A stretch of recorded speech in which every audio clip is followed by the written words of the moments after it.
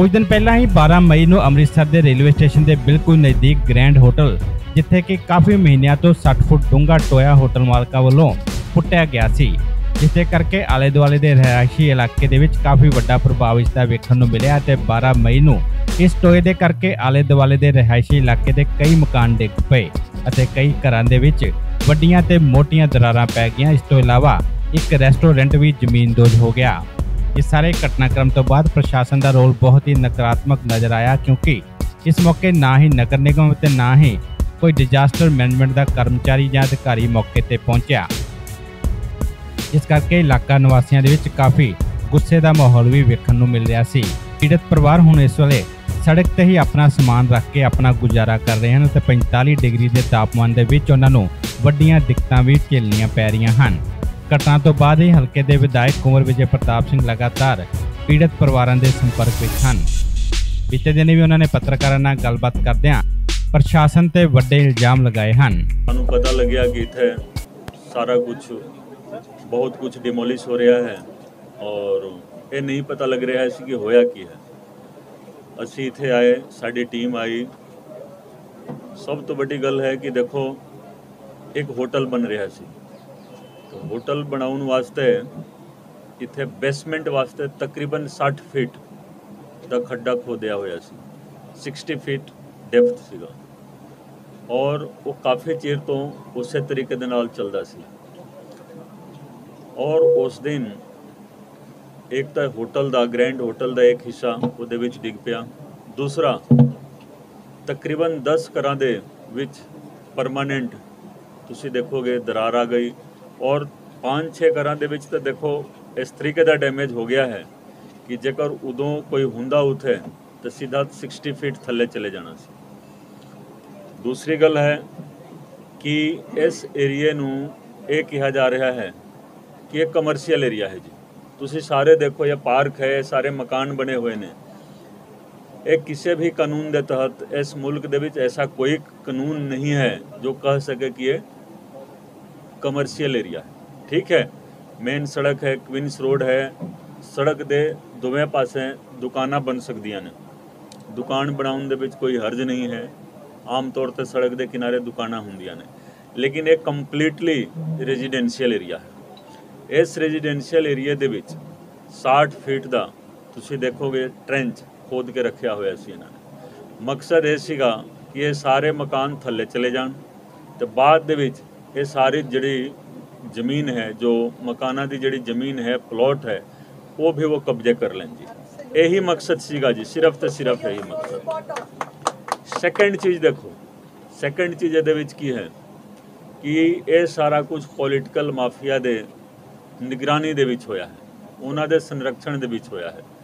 ਪਿਛਲੇ 10 ਸਾਲਾਂ ਦੇ ਵਿੱਚ ਜੋ ਸਰਕਾਰ ਰਹੀ ਹੈ, ਕਾਂਗਰਸ ਅਕਾਲੀ ਜਾਂ ਕਾਂਗਰਸ ਪਲੱਸ ਅਕਾਲੀ ਇਹਨਾਂ ਨੇ ਸਾਰੇ ਲੀਡਰਾਂ ਨੇ ਸਾਰਾ ਕੁਝ ਮਿਲ ਕੇ ਕਰਾਇਆ ਹੈ।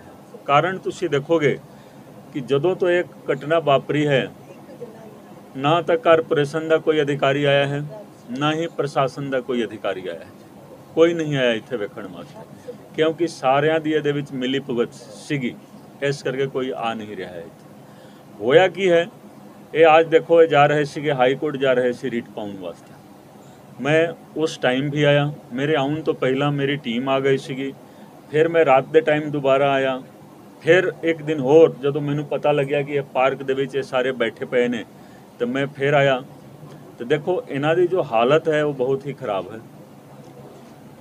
ਇਹਨਾਂ ਘਰਾਂ ਦੀ ਰਿਪੇਅਰ ਹੁਣ ਹੋ ਨਹੀਂ ਸਕਦੀ ਹੈ। ਤਾਂ ਦੋ ਇਹਦੇ ਵਿੱਚ ਐਸਪੈਕਟ ਨੇ। ਇੱਕ ਤਾਂ ਐਸਪੈਕਟ ਹੋ ਗਿਆ ਕਿ ਜੋ ਮਕਾਨ ਡੈਮੇਜ ਹੋਏ ਨੇ, ਉਹ ਕੌਣ ਠੀਕ ਕਰਾਏਗਾ? ਕਿਉਂਕਿ ਉਹ ਰਿਪੇਅਰ ਉਹਦੇ ਵਿੱਚ ਨਹੀਂ ਹੋ ਸਕਦਾ। ਠੀਕ ਹੈ, ਉਹ ਨਵੇਂ ਸਿਰੇ ਬਣਾਉਣਾ ਪਊਗਾ। ਦੂਸਰਾ ਐਸਪੈਕਟ ਇਹ ਹੈ ਕਿ ਉਹ ਅਨੁਮਤੀ ਕਿਸਨੇ ਦਿੱਤੀ? 60 ਫੀਟ ਟ੍ਰੈਂਚ ਬਣਾਉਣ ਦੀ। ਕਾਗਜ਼ਾਂ ਦੇ ਵਿੱਚ ਇਹ ਕਿਹਾ ਜਾ ਰਿਹਾ ਹੈ, ਜਾ ਰਿਹਾ ਹੈ ਕਿ 60 ਫੀਟ ਦੀ ਥਾਂ ਉਹ ਚਲੋ 40 ਫੀਟ ਦੀ ਪਰਮਿਸ਼ਨ ਸੀਗੀ। 40 ਫੀਟ ਦਾ ਪਰਮਿਸ਼ਨ ਵੀ ਕੋਈ ਵੀ ਅਧਿਕਾਰੀ ਨਹੀਂ ਦੇ ਸਕਦਾ ਹੈ। ਇਹ ਕਾਨੂੰਨ ਨਹੀਂ ਹੈ ਕਿ ਰੈਜ਼ੀਡੈਂਸ਼ੀਅਲ ਏਰੀਆ ਦੇ ਵਿੱਚ ਤੁਸੀਂ ਬੇਸਮੈਂਟ ਬਣਾਉਣ ਵਾਸਤੇ 40 ਫੀਟ ਡੈਪਥ ਦਾ ਪਰਮਿਸ਼ਨ ਦਿਓ।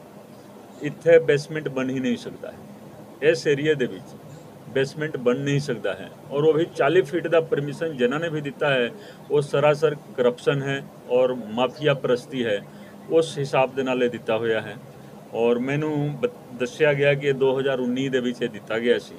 ਲੇਕਿਨ ਇਹ ਸਾਰਾ ਕੁਝ ਹੋਇਆ ਹੈ ਮਾਫੀਆ ਐਡਮਿਨਿਸਟ੍ਰੇਸ਼ਨ ਤੇ ਪੋਲਿਟਿਕਸ ਦੇ, ਉਹਨਾਂ ਦੇ ਅਲਾਈਅੰਸ ਦੇ ਨਾਲ। ਇੱਕ ਬ- ਬਹੁਤ ਹੀ ਇਹਨਾਂ ਨੇ ਇੱਕ ਉਹ ਬਣਾ ਲਿਆ ਸੀ, ਇੱਕ ਅਲਾਈਅੰਸ ਬਣਾਇਆ ਸੀ ਪਹਿਲਾਂ, ਜਿਸ ਤਰ੍ਹਾਂ ਚੱਲਦਾ ਸੀ। ਤਾਂ ਉਸ ਦੇ ਤਹਿਤ ਇਹ ਸਾਰਾ ਕੰਮ ਹੋਇਆ ਹੈ। ਲੇਕਿਨ ਸਭ ਤੋਂ ਪਹਿਲੀ ਗੱਲ ਹੈ ਕਿ ਇਹਨਾਂ ਨੂੰ ਅੱਜ ਕੋਈ ਪੁੱਛਣ ਵਾਲਾ ਨਹੀਂ। ਮੈਂ ਮਾਨਯੋਗ ਚੀਫ ਮਿਨਿਸਟਰ ਸਾਹਿਬ ਦੇ ਨਾਲ ਗੱਲ ਕੀਤੀ ਹੈ। ਔਰ ਸਾਨੂੰ ਪੂਰੀ ਉਮੀਦ ਹੈ, ਸਾਨੂੰ ਭਰੋਸਾ ਦਿਲਵਾਇਆ ਹੈ ਚੀਫ ਮਿਨਿਸਟਰ ਸਾਹਿਬ ਨੇ ਕਿ ਇਹਨਾਂ ਵਾਸਤੇ ਸਾਰਾ ਕੁਝ ਉਹ ਕੀਤਾ ਜਾਊਗਾ।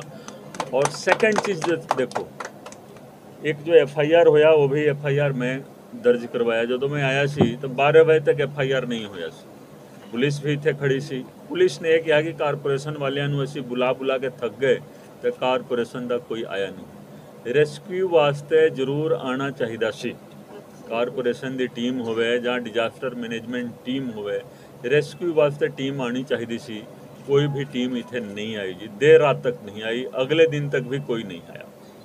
ਇੱਕ ਹੋਰ ਇੰਪੋਰਟੈਂਟ ਐਸਪੈਕਟ ਹੈ। ਕਿ ਜੋ ਇਹ ਕਹਿ ਰਹੇ ਨੇ ਕਿ ਅਸੀਂ ਹਾਈ ਕੋਰਟ ਜਾਵਾਂਗੇ, ਅਸੀਂ ਸਾਰੇ ਜਾਣਦੇ ਹਾਂ ਕਿ ਜੇਕਰ ਇਹ ਹਾਈ ਕੋਰਟ ਜਾਣਗੇ, ਤਾਂ ਦੂਸਰੀ ਪਾਰਟੀ ਦੇਖੋ ਜ਼ਿਆਦਾ ਜ਼ਬਰਦਸਤ ਹੈ ਕਾਨੂੰਨੀ ਲੜਾਈ ਦੇ ਵਿੱਚ। ਤੇ ਇਹ ਕਾਨੂੰਨ ਦੇ ਚੱਕਰ ਦੇ ਵਿੱਚ ਇਹ ਪੈ ਜਾਣਗੇ, ਇਸ ਕਰਕੇ ਮੈਂ ਇਹਨਾਂ ਨੂੰ ਕਿਹਾ ਕਿ ਨਹੀਂ, ਇਸ ਮਸਲੇ ਨੂੰ ਐਡਮਿਨਿਸਟ੍ਰੇਟਿਵ ਤੌਰ ਤੇ ਡੀਲ ਕਰਨਾ ਹੈ। ਕਾਨੂੰਨੀ ਤੌਰ ਤੇ ਡੀਲ ਨਹੀਂ ਕਰਨਾ ਹੈ।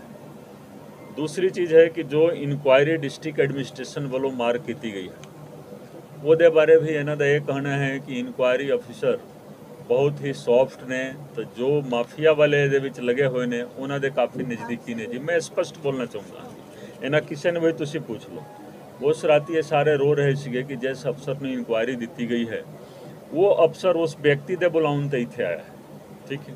ਆਪਣੇ ਆਪ ਦੇਖੋ, ਕੋਈ ਆਇਆ ਹੀ ਨਹੀਂ ਹੈ। ਐਡਮਿਨਿਸਟ੍ਰੇਸ਼ਨ ਦਾ ਕੋਈ ਵੀ ਅਧਿਕਾਰੀ ਕਾਰਪੋਰੇਸ਼ਨ ਦਾ ਕੋਈ ਵੀ ਅਧਿਕਾਰੀ ਡਿਜ਼ਾਸਟਰ ਮੈਨੇਜਮੈਂਟ ਦਾ ਕੋਈ ਮਤਲਬ ਅਧਿਕਾਰੀ ਜਾਂ ਕੋਈ ਟੀਮ ਇੱਥੇ ਨਹੀਂ ਆਈ।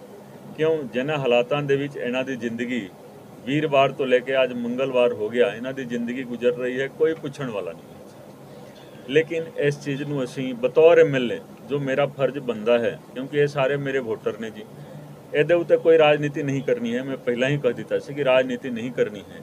ਲੇਕਿਨ ਇਹਨਾਂ ਨੂੰ ਕੰਪਨਸੇਸ਼ਨ ਤੁਰੰਤ ਮਿਲਣਾ ਚਾਹੀਦਾ ਹੈ। ਔਰ ਕੰਪਨਸੇਸ਼ਨ ਵੀ ਦੇਖੋ, ਮਕਾਨ ਨਵੇਂ ਸਿਰਿਓਂ ਬਣਾਉਣਾ, ਔਰ ਉਦੋਂ ਤੱਕ ਇਹ ਰਹਿਣਗੇ ਕਿੱਥੇ, ਇਹ ਸਾਰਾ ਅਰੇਂਜਮੈਂਟ ਕਰਨਾ ਇਸ ਤੋਂ ਇਲਾਵਾ ਜਿਨ੍ਹਾਂ ਨੇ ਗਲਤੀ ਕੀਤੀ ਹੈ, ਉਹ ਗਲਤੀ ਨਹੀਂ ਹੈ।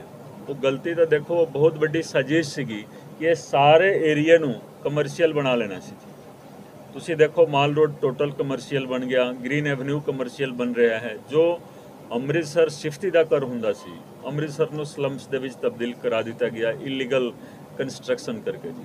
ਤੇ ਇਹ ਸਾਰਾ ਏਰੀਆ ਜਿਹੜਾ ਸੀਗਾ, ਇਸ ਏਰੀਆ ਨੂੰ ਸਮੇਤ ਪਾਰਕ ਕਮਰਸ਼ੀਅਲ ਬਣਾਉਣ ਦਾ ਇਹਨਾਂ ਨੇ ਇੱਕ ਤਰੀਕਾ ਲੱਭ ਲਿਆ ਸੀ।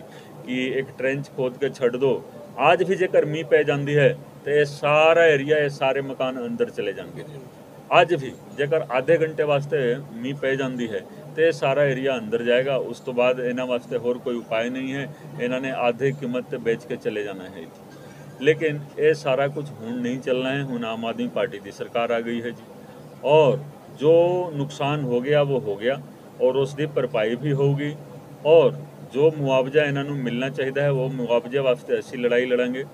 ਔਰ ਇਹ ਲੜਾਈ ਇਹਨਾਂ ਦੀ ਨਹੀਂ ਹੈ, ਇਹ ਮੇਰੀ ਲੜਾਈ ਹੈ। ਇਹਨਾਂ ਨੇ ਮੈਨੂੰ ਐਮਐਲਏ ਬਣਾਏ ਹੈ, ਇਹ ਲੜਾਈ ਮੇਰੀ ਰਹੇਗੀ ਅੰਮ੍ਰਿਤਸਰ ਤੋਂ ਗੁਰਪ੍ਰੀਤ ਸਿੰਘ ਦੀ ਰਿਪੋਰਟ, ਪੰਜਾਬ ਟੁਡੇ